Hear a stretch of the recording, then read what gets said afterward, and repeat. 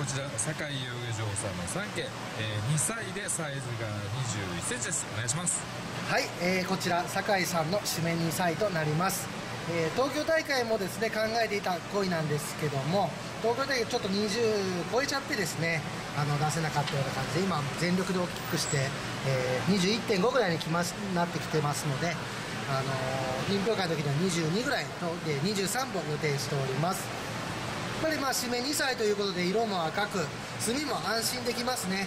春先は東西はどうしても炭ボケたりしますが、えー、こちら2歳ということで炭も全く引かないですね。安心して見られます。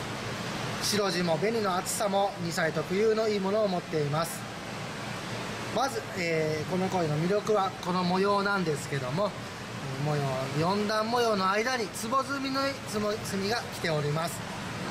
割と室内の大会っていうのは重ね済みの炭の強いやつが、あのー、強いイメージがあるんですけども若鯉のように外の大会というのはこういう小炭のようなあっさりとしたつぼみに来てるような鯉が、えー、有利に立つことも多いです、えー、幅なんですがやはり2歳なのでしっかりあります、え東西のように無理に大きくした、あのタイプとは違いますので小さいながらも幅のある感じがいいですね。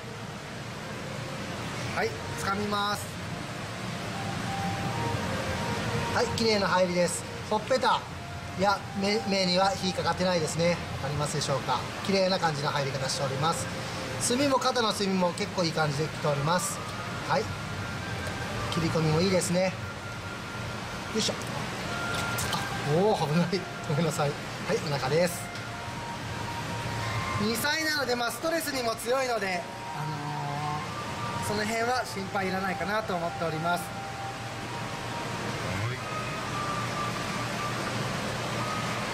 小炭ですけどしっかりまとまってますし、ね、そうですね。だからこの上の炭と全部の炭が一緒の色なのであのー、いいような感じもします。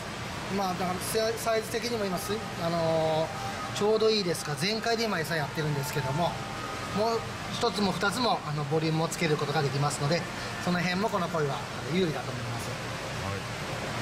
大会までの1ヶ月伸びしろがある声ですね。そうですね。ギリギリだとどうしても餌絞らないといけないので、あのー、痩せちゃうこともあるかもしれませんが今21.5であと5ミリぐらい伸ばして22で肉をつけていきたいなと思っております。はい。いかがでしょうか、えー、こちら。酒井養魚場さんの3家でサイズの方が2 1センチ。